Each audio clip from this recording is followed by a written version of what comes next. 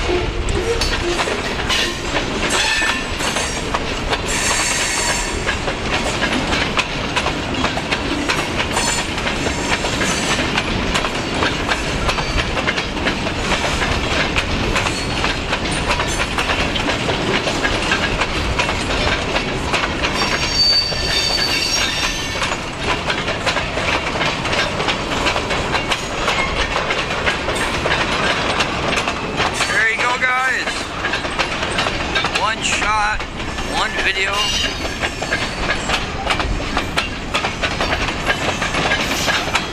Bunch of freight heading back south. Escanaba, Lake Superior Railroad. Ready. You guys make sure to hit that thumbs up.